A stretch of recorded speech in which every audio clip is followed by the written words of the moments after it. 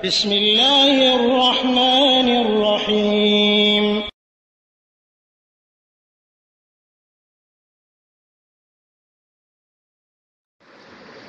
السلام عليكم ورحمة الله وبركاته. الحمد لله وحده والصلاة والسلام على من لا نبي بعده وعلى آله وصحبه ومن والاه. একজন সম্মানিত ভাই জানতে চেয়েছেন যে আমরা জানি ইব্রাহিম আলাইহিসসালাম মুসলিম জাতির পিতা। তো এটি হাদিস দ্বারা কতটুকু সহি কথাটা এই বিষয়ে জানতে চেয়েছেন? জি ভাই, আলহামদুলিল্লাহ, যে কথাটি শুনেছেন এই কথাটি কোরআনে কারিমের একটি আয়াতের কারণে শুনেছেন। আয়াতটি হলো সুরা আল হাজ্জের আটাত্তর নম্বর আয়াত। আল্লাহ সুবান এই আয়াতে কারিমের মধ্যে এরশাদ করেছেন, ওয়াজাহিদু ফিল্লাহি হাক্কা জিহাদিহি ওয়াজতাবাকুম ওয়ামা জাআলা আলাইকুম ফিদ্দিন মিন হারাজ মিল্লাতা আবিকুম ইব্রাহিম। এখানে সূরা আল হাজ্জের আটাত্তর নম্বর আয়াতে কারিমায় আল্লাহ সুবহানাহু ওয়া তাআলা মিল্লাতা আবিকুম ইব্রাহিম। যে তোমাদের পিতা ইব্রাহিম আলহিসাল্লামের মিল্লাত আল্লাহ পাক দিনের মধ্যে কোনো সংকীর্ণতা রাখেন নাই।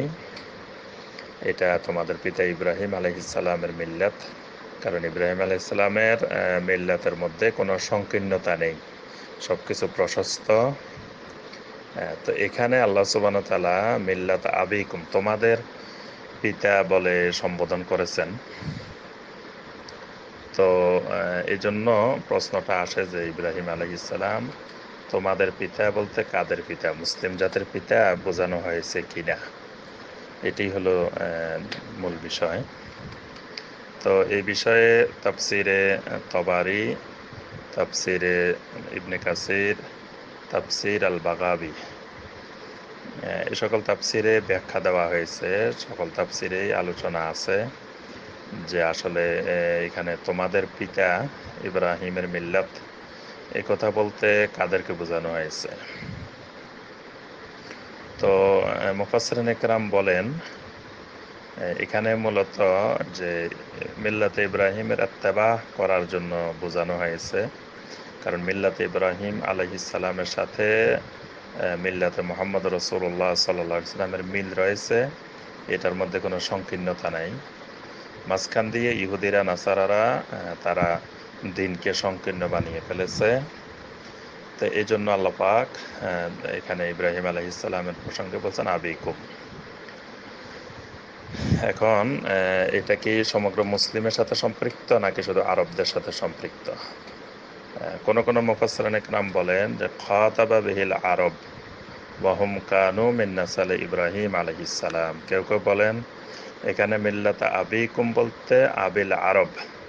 আরবদেরকে আল্লাপাক সম্বোধন করেছেন, কারণ আরবেরা মক্কার এই মানুষগুলো, এরা ইব্রাহিম আলহিসাল্লামের পুত্র ইসমাইল আলহিসাল্লামের বংশধর।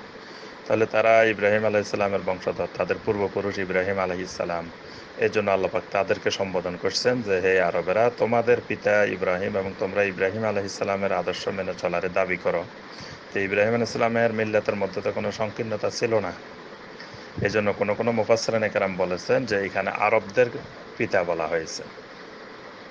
আবার কোনো কোনো মুফাসরান একরাম বলেন, না, এখানে খাতাবাবিহি জামি আল মুসলিমিন। এখানে সমস্ত মুসলিমকে সম্বোধন করা হয়েছে। যে ইব্রাহিম আলাইসাল্লাম তাদের পিতা। তো তাদের পিতা বলতে কি বোঝানো হয়? তাফসিরে সেটারও ব্যাখ্যা দেওয়া হয়েছে যে, আলা মানা উজুবে এহতেরামিহি ওয়াহেবজু হাক্কিহি। যে এটার অর্থ হইল যে ইব্রাহিম আলাইসাল্লামের সম্মান।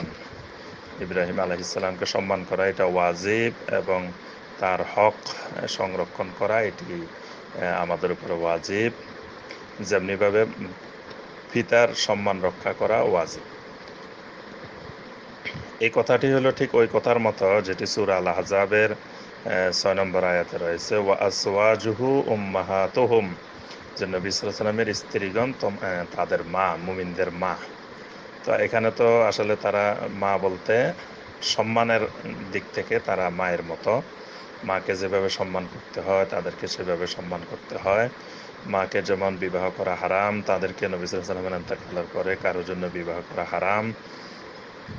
তো সম্মান রক্ষা করার জন্য যেমন মা বলা হয়েছে, ঠিক একইভাবে ইব্রাহিম আলহিসাল্লামকে আল্লাহ রব্বুল্লা আলমিন আবি কুম্বলে সমগ্র মুসলিমের পিতা সম্বোধন করেছেন। এটি সম্মানজনক পিতা। নবী সাল্লাম একটি হাদিসে বলছেন "আ- ইন্নামা আনা লাকুম মিসলাল ওয়ালেদে লি ওয়ালেদিহি যে, আমি তো মুসলিমের কাছে পিতার মতো, পিতার সমতুল্য। অর্থাৎ একজন পিতার যেমন দায়িত্ব কর্তব্য রয়েছে, সন্তানের প্রতি আমারও এরকম দায়িত্ব কর্তব্য রয়েছে আমার মতের প্রতি। তবে মোহাম্মদ সাল্লাহ সাল্লামের ব্যাপারে আল্লাহাক বলছেন, মা কানা মোহাম্মদন আবা আহাদিম মির রিজালিকুম। মোহাম্মদ সাল্লাহ সাল্লাম তোমাদের কোনো পুরুষ মানুষের পিতা নন। সেটি অন্য ব্যাখ্যা, আমরা তাফসিরে আলোচনা করেছি। তো এখানে মূল কথা হলো যে, ইব্রাহিম আলহিসাল্লাম সমগ্র মুসলিম উম্মার সম্মানজনক পিতা আবার আহ, কারো কারো মত হলো এখানে ইব্রাহিম আলহিসাল্লাম আরবদের আহ, বংশগত পিতা আরবদের হলো বংশগত আর সমগ্র মুসলিম উম্মার হলো আহ, সম্মানের দিক থেকে وبالله التوفيق وصلى الله على نبينا محمد وآله وصحبه وسلم السلام عليكم ورحمة الله وبركاته